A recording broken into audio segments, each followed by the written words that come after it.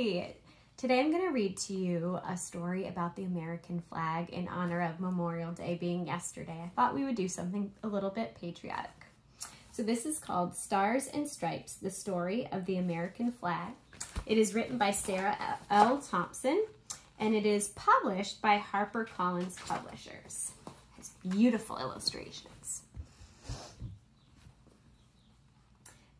The flag of the United States of America has 50 stars and 13 stripes. People call it the Stars and Stripes. You can see the flag at schools and at post offices, in town squares and at baseball games. You can see flags in parades on the 4th of July.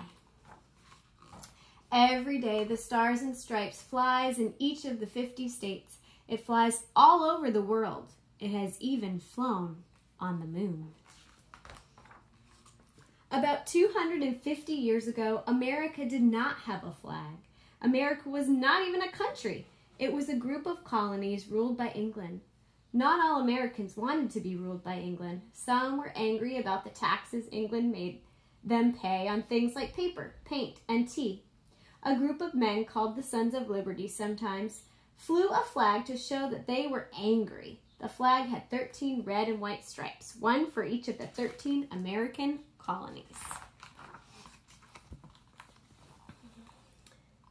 In 1775, the Revolutionary War began. The American colonies fought to win their freedom from England. Early in the war, the Americans used many different flags. George Washington commanded the American soldiers. On the first day of 1776, he raised a new flag near his army's camp. The flag had the 13 red and white stripes that stood for the 13 colonies. In the corner, there was a in the corner there was a flag Americans knew well, the flag of England, the Union Jack. You can see it right there. Not all Americans wanted their new flag to show the Union Jack. Some flew flags with a rattlesnake. The snake came to stand for America. People believed that a rattlesnake would not harm others unless it was threatened, but if it was attacked, it was deadly. Many flags with the rattlesnake warned, don't tread on me. So don't step on me or else watch out, right? The Continental Congress was created to govern the American colonies. Two years after the Revolutionary War began, Congress finally decided that America needed a single flag. So one flag that everybody had to be united, the same, together, right? The flag would have 13 stripes, one for each colony, and it would have 13 stars on a blue background to show that America was a new constellation, something never seen before.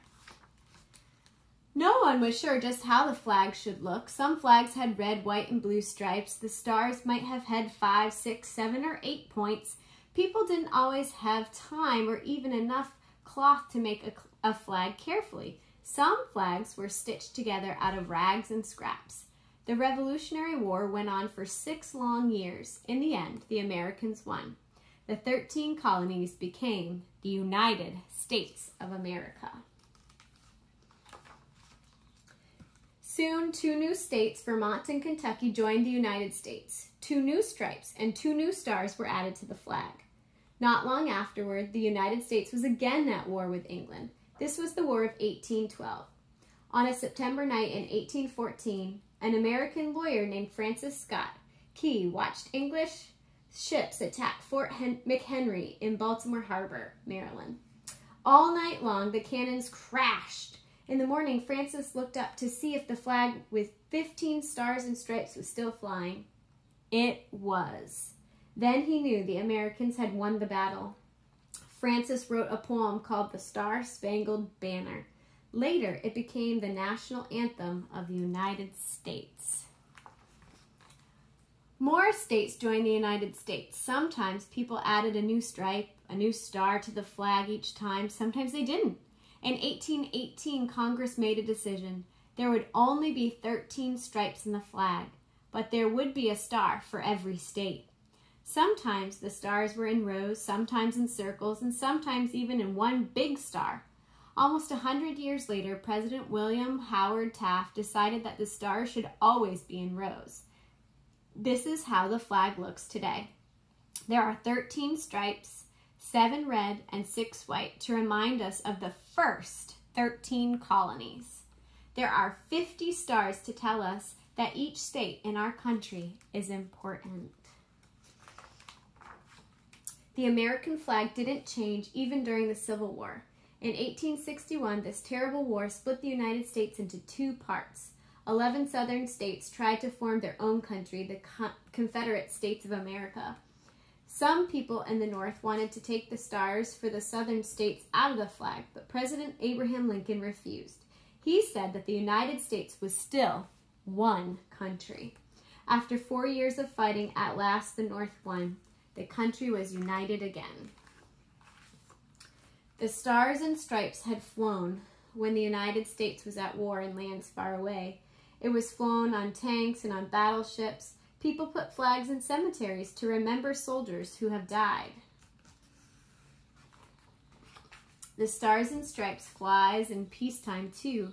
On special days like Memorial Day and the 4th of July, people hang flags outside of their homes. Sometimes people even wear shirts or jackets or scarves decorated with flags. The Stars and Stripes hangs behind American athletes who win medals in the Olympic Games. On September 11, 2001, the United States was attacked. The World Trade Center in, the, in New York City was destroyed. A plane hit the Pentagon in Washington, D.C. Another plane crashed in Pennsylvania. More than 3,000 people were killed. After September 11th, Americans flew more flags than ever. They hung flags on homes, in stores, and office buildings. People wore clothing and jewelry decorated with flags. They flew flags from cars and trucks. These flags said that even though people were angry and afraid and very sad, they still had hope and faith in their country. No matter what happened, they believed the stars and stripes would always keep flying.